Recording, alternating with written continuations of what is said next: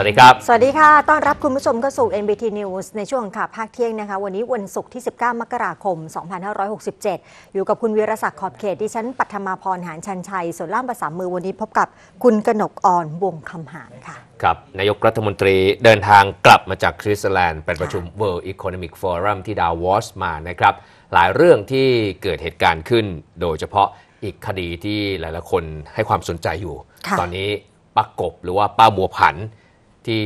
เราเห็นภาพจากกล้องวงจรปิดชัดเจนว่าคนที่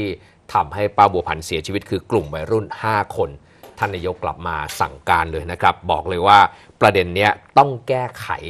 ทุกอย่างเนี่ยให้เรียบร้อยในการที่ทำให้กระบวนการต่างๆ ต้องเป็นไปอย่างโปร่งใส แล้วก็แก้ไขปัญหาเพื่อจะตอบสังคมให้ได้ด้วย แล้วก็เมื่อคืนนี้เชอรี่ค่ะมันจะมีคลิปเสียงออกมา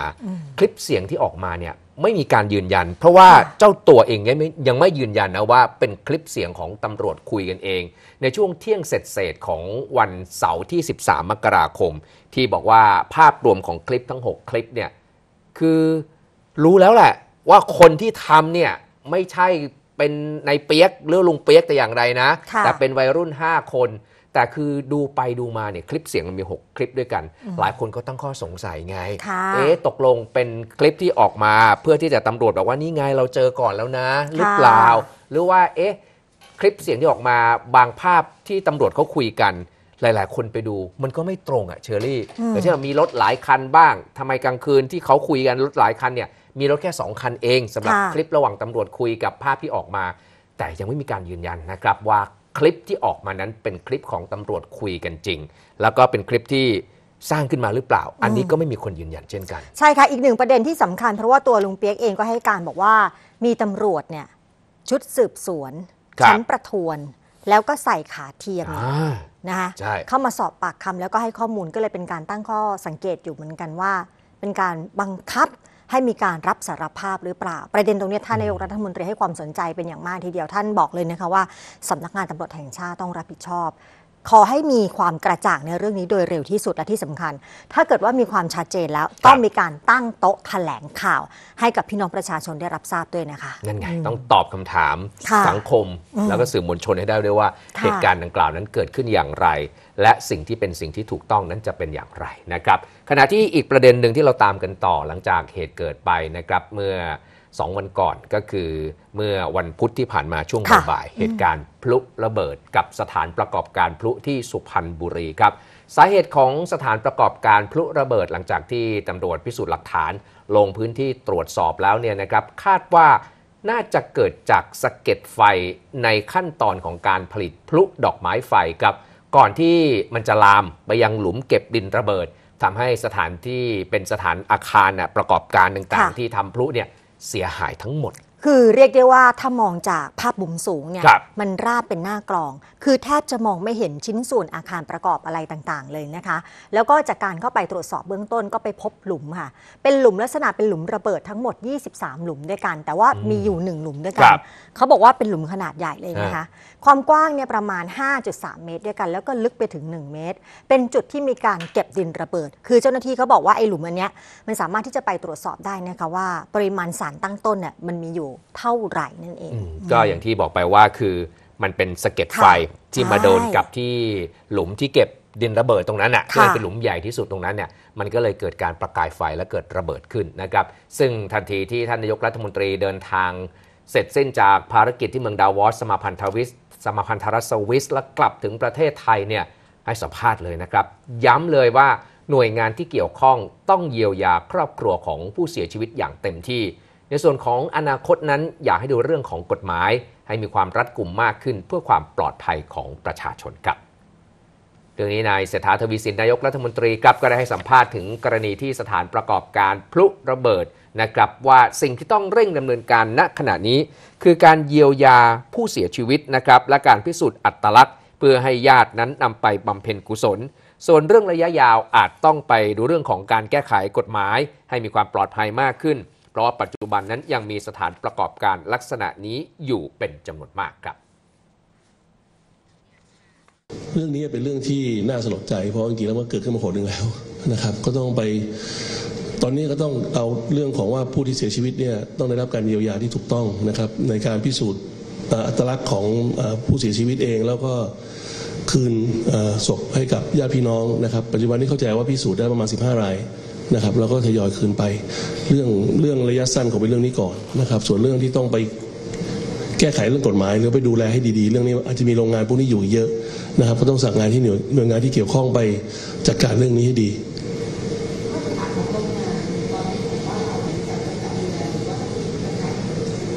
ก็ หวังว่าคงมีการกำกับดูแลที่ดีที่ถูกต้องนะครับแต่เข้าใจว่าโรงงานพลุอันนี้เนี่ยไม่ได้ถูกโรงงานอุตสาหกรรมกำกับดูแลเพราะมีขนาดที่เล็กกว่าปกตินะครับก็ต้องไปดูว่าจดกฎหมายตรงไหนที่จะมาให้พี่น้องประชาชนมั่นใจในเรื่องของ Public Safety ให้ได้นะครับ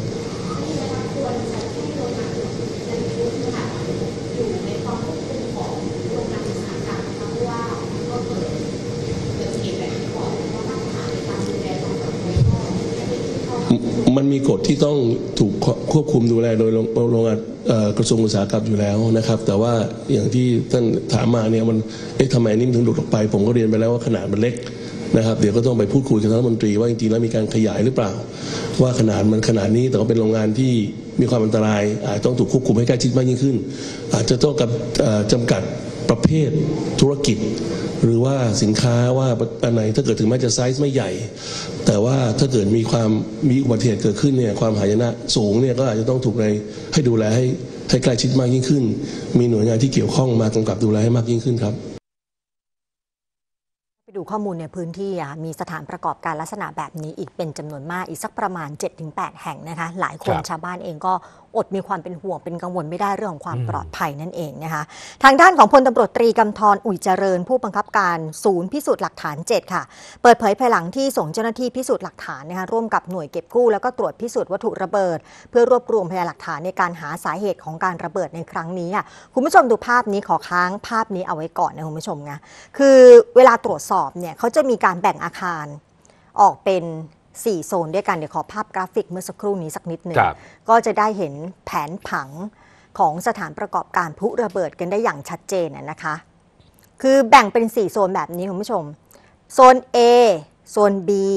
โซน C และโซน D นั่นเองนะคะอะภาพที่เห็นนี้เป็นภาพโซน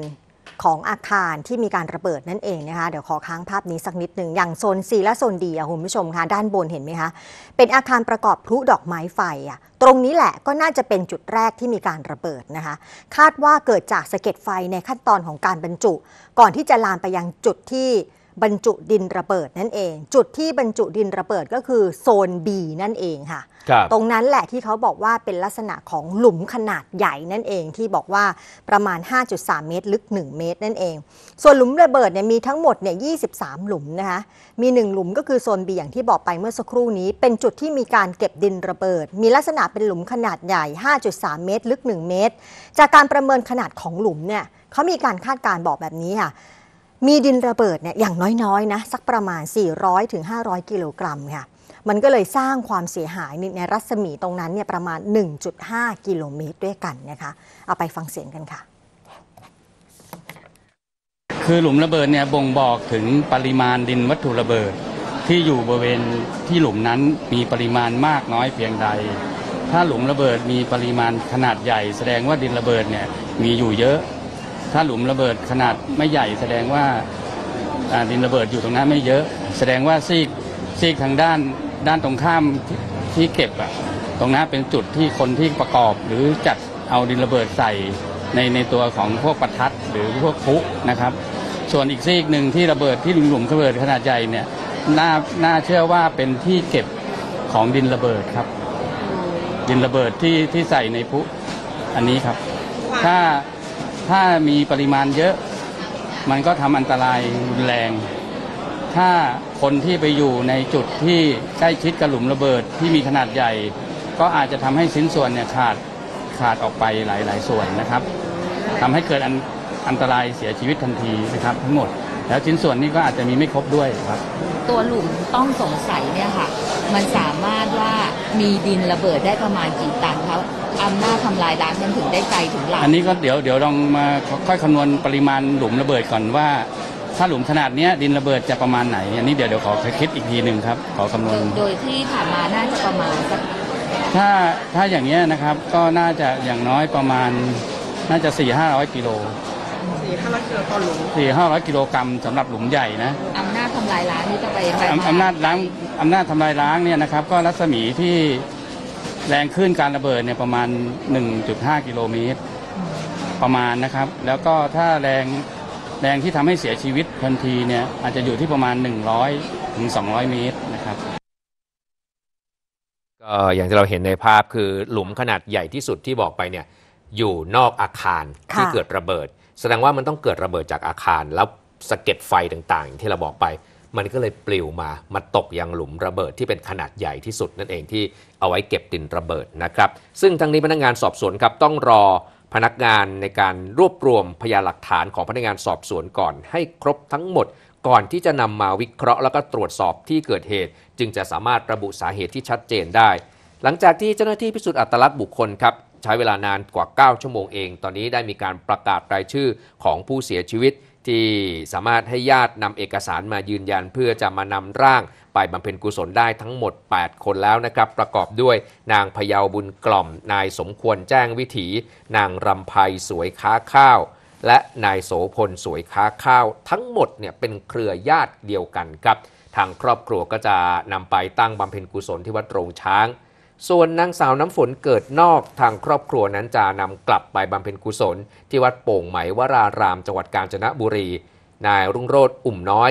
นี่จะรับใบบำเพ็ญกุศลที่วัดพระธาตุสวนแตงนายวิชาญบุญศรีวงศ์บำเพ็ญกุศลที่วัดขวาง โดยนายวิชาญนั้นมีพันยาคือนางสาวพรทิพย์พันแตงที่เสียชีวิต และทางเจ้าหน้าที่ยังพิสูจน์อัตลักษณ์ไม่ได้ แล้วร่างสุดท้ายครับเป็นร่างของนางบุญเกื้อทองสำริด ทางครอบครัวเองก็จะนำกลับไปบำเพ็ญกุศลที่วัดลาดกระจับต่อไปครับ